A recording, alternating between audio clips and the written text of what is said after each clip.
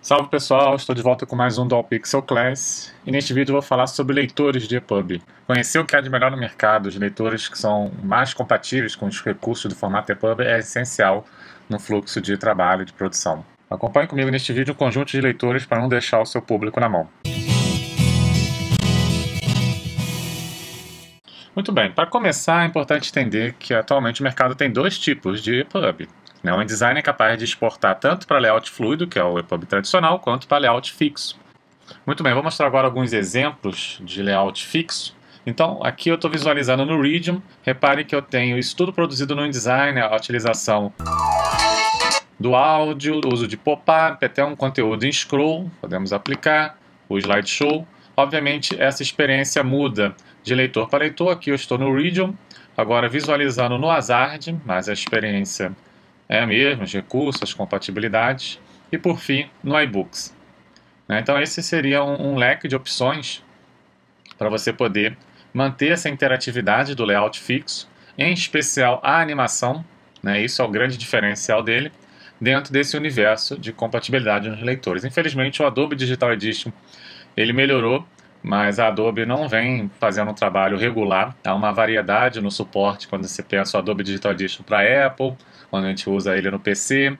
Hoje ele está disponível em todas as, as, plataformas, mas a aplicação dele ainda está instável. Por isso eu indico para desktop o Region ou o Azard, na Apple o iBooks é imbatível e no Android fique com o Gitden. Atualmente o InDesign consegue exportar todos os recursos de interatividade nativos do programa, aqui o painel Window Interactive.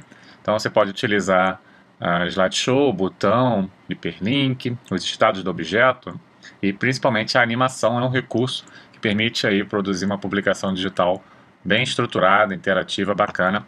Mas é onde? Onde distribuir? Onde isso vai ser visualizado? Não adianta ter o melhor conteúdo interativo se isso não chega até o público. Então, é importante entender que quando a gente fala de layout fluido, as opções são maiores, tem uma abrangência de leitores assim em relação à plataforma Android, por exemplo, a muitos leitores. Então a ideia aqui é que você restrinja, conheça né, os melhores leitores com qualidade para exibir o que você produziu no InDesign e é essa tela que você está visualizando. Quando a gente pensa em desktop, né, a gente vai ter o iBooks, que é um dos melhores, o Region, que é uma extensão do Chrome, e o Azard, que é uma plataforma fechada, mas tem disponível um leitor gratuito.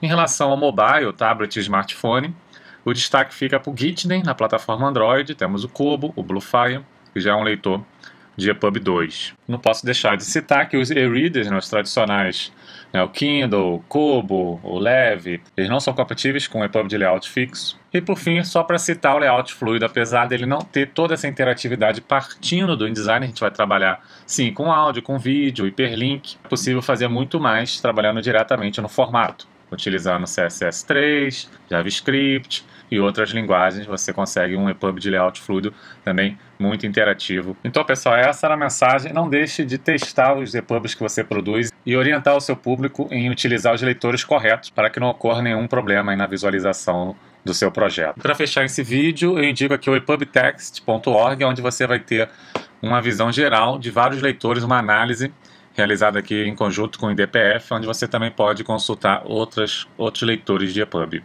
Vai estar o link aqui na descrição do vídeo. Forte abraço e até o próximo tutorial.